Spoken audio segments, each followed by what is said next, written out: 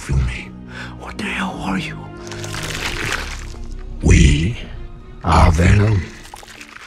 Bu videoda Venom serisinde gördüğümüz ya da görebileceğimiz tüm simbiyotlar için bir güç sıralaması hazırladım. Elbette listede sadece simbiyotlar değil, Venom'da bağlantılı olan tanrısal karakterler de yer alacak. Sonuçta Venom ve onun türündeki simbiyotlarla ilk defa karşılaşmıyoruz. Bu simbiyotlar sadece bireysel uzaylılar değil, aynı zamanda silah olarak da kullanılıyordu. Dolayısıyla Venom 3 The Last Dance filmi çıkmadan önce belki de bilmek istersiniz diye hepsinden bahsedeceğim. Belki de sayacağım simbiyotlardan bazılarını filmde görme şansımız olur öyle değil mi? Ancak başlamadan hemen önce kanalda yeniyseniz ve içerikleri kaçırmak istemiyorsanız abone olmayı ve bildirimleri açmayı unutmayın.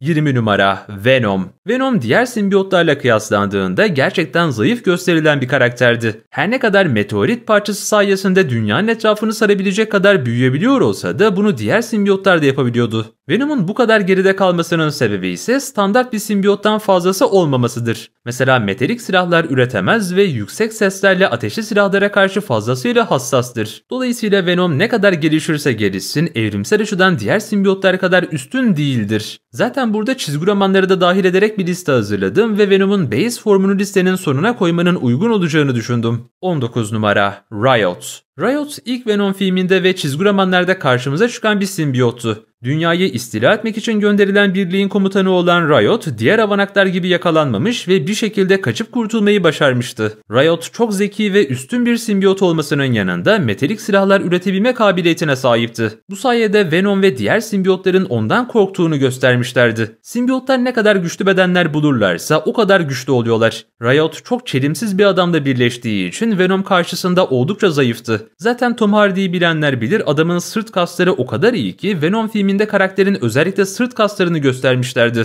Hatta Tom Hardy The Dark Knight Rises filminde beyni canlandırmıştı. Riot her anlamda Venom'dan çok daha üstündür ve Venom'a göre metalik silahlar oluşturabilmesi onu bu listede Venom'un önüne koyuyor. 18 numara Scream Scream'in başlangıç hikayesi pek çok senaryoda farklılık göstermiş olabilir. Bazı hikayelerde Scream Venom'la birlikte dünyaya gönderilen simbiyotlardan biriydi. Ve bazı hikayelerde ise Venom'un bir parçasının Mary Jane ile birleşmesi sonucunda ortaya çıkmıştı. Scream çok güçlü bir karakterdir ve evet Venom ya da Riot'tan bile çok daha üstündür. Zaten Venom'un soyundan geldiği enkarnasyonunda kendi atalarından ve babasından güçlü olması çok normal bir durum. Scream renk değiştirme özelliğine sahiptir ve bu sayede kendini gizleyerek kamuflaj olabilir. Scream'in kas gücü, simbiyotik yoğunluğu ve çevikliği sayesinde Riot ve Venom'u dövmüşlüğü vardır. 17 numara Magic Venom Venom'un büyüyle güçlendirilmiş olan bu formu da elbette listeye girmeliydi. Venom'un Malekith'in ordusuyla olan anlaşmasında vücudunun rünlerle kaplandığını ve Rune King Venom'a dönüştüğünü hatırlamışsınızdır. Venom'un yapabildiği her şeyi rün büyüleriyle güçlendiren bir korumadan bahsediyoruz. Venom'un bu formu zamanla evrimleşti ve biraz daha gelişti. Venom'a çok çok büyük ekstra özellikler vermemiş olsa da simbiyotu çılgın bir hale getirdiğini söyleyebiliriz. Ayrıca Venom'un bu formunun da hala sese ve ateşe karşı hassasiyeti vardı. 16 numara Carnage Carnage'ın prime formları özellikle çizgi romanlarda çok daha güçlüydü. Evet filme göre konuşacak olursak Carnage'ın da metalik silahlar üretme özelliği vardı. Venom'un sahip olduğu tüm bilgiye ve yeteneklere sahip olmanın yanında çok daha fazlasını da göstermişti. Carnage her zaman Venom'un üzerinde olmuştur ve çok daha cani bir simbiyottur. Kozmik güçler de dahil olmak üzere pek çok enerji kaynağını emebileceği ve beslenebileceği ortaya çıkmıştı. Carnage evrimsel olarak çok avantajlı bir simbiyot ve ayrıca dünyada doğduğu için diğer simbiyotlardan çok daha üstündü. 15 numara Hibrit Hibrit dünyaya gönderilen farklı simbiyotların birleşerek oluşturduğu bir ortak yaşamdır. Riot ve diğer simbiyotlar tüm güçlerini tek bir bedende birleştirdiğinde buna hibrit ismini vermişlerdi. Her simbiyotun birbirinden farklı özelliği olduğu için hibrit hepsine sahip olmuştu. Hatta ilk Venom filminde Riot Venom'u içine aldığında çok daha büyük ve güçlü bir şeye dönüştü. Hibritin bundan daha da büyük olduğunu ve tüm simbiyotların yeteneklerine sahip olduğunu düşünün. İşte hibrit böylesine manyak bir şeydi. 14 numara Sleeper. Sleeper Venom tarafından doğrulan 7. simbiyottu. Şimdiye kadar Venom'un birçok farklı yerde bıraktığı parçalar olduğunu çok iyi biliyoruz. Mesela ilk başta Carnage parçasını Claytus'ın ağzına bırakmıştı. Daha sonra No Way Home post sahnesinde yine bir yavrusunu bırakmıştı. Sleeper Venom'un her yeni çocuğunun bir öncekinden güçlü olduğunun en büyük kanıtıdır. Sleeper simbiyot formundayken bile insan bedenine dönüşebiliyordu. Yani diğer simbiyotlar gibi konak beden bulmasına gerek yok. Bu ona çok ciddi bir avantaj sağlıyor ve istediği her şeye dönüşebiliyordu. Aslında diğer simbiyotların hatta özellikle Carnage'ın aksine Sleeper'ı yenmek neredeyse imkansız diyebiliriz. 13 numara Scorn Carnage sayesinde üretilen Scorn, onun soyundan gelen ve Toxin'in kardeşi olarak bilinen bir karakterdi. Simbiyot ve makine birleşimi olduğu için Scorn pek çok şeyi yapmak için kullanılabilir. Scorn'un oluşturduğu silahlar sadece metalik değil, aynı zamanda teknolojiktir. Yani lazer silahlar, lazer kılıçlar ya da enerji kalkanları oluşturabiliyordu. Bir simbiyot için olağanüstü başarılar sergilediğini göstermişlerdi. Hatta Iron Man'in nanotek kostümüne benzer yetenekleri vardı ancak Iron Man'den çok daha üstündü. Çünkü Iron Man'in üzerindeki kostüm hasar aldığında nano parçalar kendi kendini yenileyemiyordu. Öte yandan Scorn canlı bir yaşam formu olduğu için kendini sürekli yenileyebilir. Bu yüzden son derece güçlü olduğunu tekrardan belirtmek gerekiyor.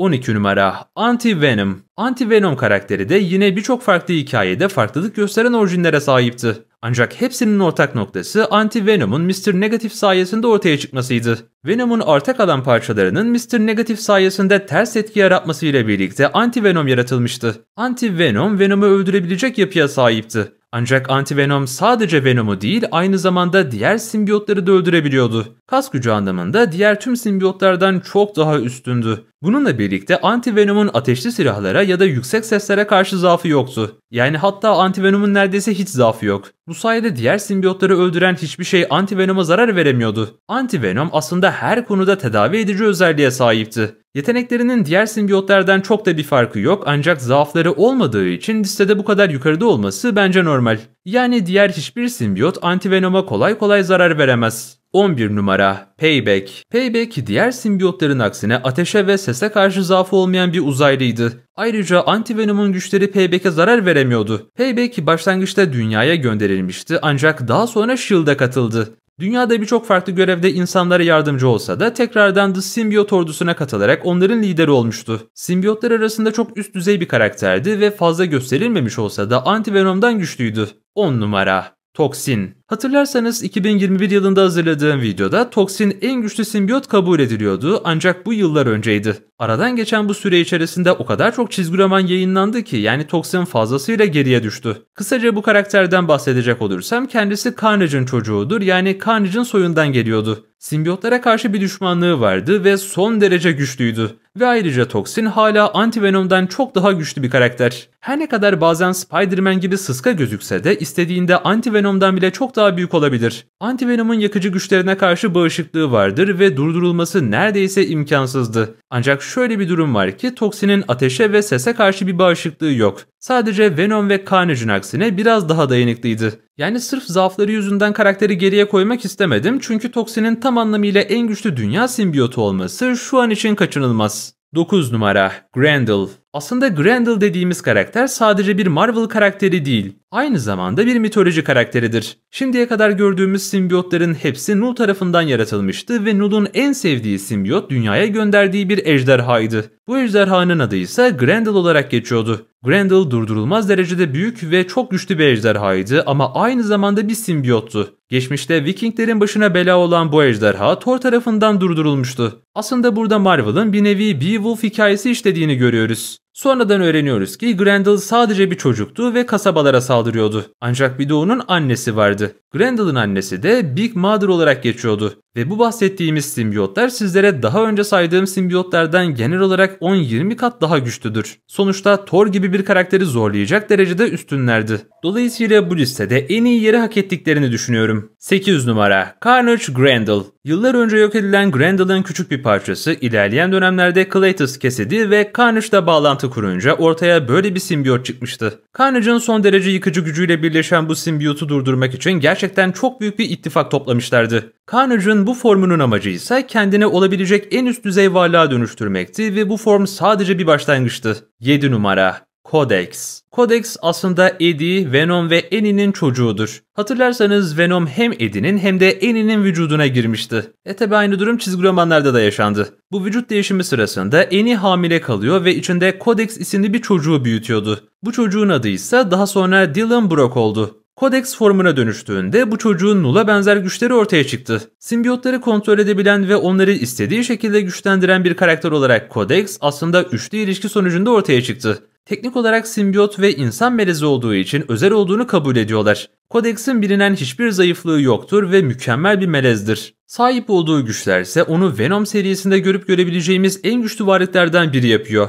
6 numara Dark Carnage Carnage Grendel'ın 5 seviye atlaması ile birlikte ortaya Dark Carnage çıkmıştı. Dark Carnage'ın en büyük özelliği ise kendisinden bir sürü simbiyotik asker çıkarmasıdır. Yani çok kısa bir süre içerisinde kendisine simbiyotlardan oluşan bir ordu yarattı. Dark Carnage zaman içerisinde kendini daha da güçlendirdi ve farklı simbiyotları özümsedikten sonra çok büyük bir bilgelik kazandı. The One Bellavol'un varlığını hissetti ve yeşil kapıyı zorla açmaya çalıştı. Karakterin hedeflediği şey ise The One Bellavol'un güçlerini almaktı ancak son anda durdurulmuştu. 5 numara Tyrannosaurus bu karakter de Grendel'dan kopan bir simbiyot parçası sayesinde ortaya çıkmıştı. Bu simbiyot parçası Rex isimli bir karakterle birleştirildi ve buradaki temel amaç süper asker yaratmaktı. Yani espriyi anladınız mı bilmiyorum ama Tyrannosaurus Rex. Evet ama komikmiş. Daha sonra bu simbiyot parçası kendini geliştirmeye devam etti ve artık bağımsız hale geldiğinde kendi bedenini yarattı. Yani herhangi biriyle bağlantı kurmadan da oldukça güçlüydü. Sese ve ateşe karşı zaafı yoktu hatta alev püskürtme özelliğine sahipti. Teknik olarak Grendel'ın soyundan geldiği için ondan çok daha üstün olduğunu kabul edebiliriz. 4 numara Void Knight Null'un Silver Surfer için yaptığı planlar sonucunda ortaya Void Knight çıkmıştı. Silver Surfer gezegenleri yok etmesi için Galactus'a rehberlik ediyordu ve Null Silver Surfer'ı ele geçirecek seviyede güçlü bir simbiyot yarattı. Aslında simbiyotların Silver Surfer'ı Void Knight diyebiliriz. Her ne kadar Void Knight çok güçlü ve kozmik bir karakter olsa da kendisi gezegen Ego tarafından yok edildi. 3 numara All Black Necrosword All Black Necrosword Null tarafından yaratılan ilk simbiyottu. Aslında bir silah gibi gözükse de All Black Necrosword'un da bir bilinci vardı. Herhangi bir göksel varlığı tekleyecek güce sahip olmasının yanında Null bu silahı kozmik enerjiyle daha da güçlendirmişti. Albrecht Necrosword'un bilinen hiçbir zaafı yoktur ve muazzam bir silahtır. Yani sıradan ve hiçbir özelliği olmayan bir canlıya aynı anda 3 tane toru yenebilecek güç verir. Base formunda olmasına rağmen bence en güçlü simbiyottur. 2 numara Null Armor. Null zaten simbiyotları yaratan kişiydi ve Albrecht Necrosword'u yarattıktan sonra kendine de simbiyotik bir zırh tasarlamıştı.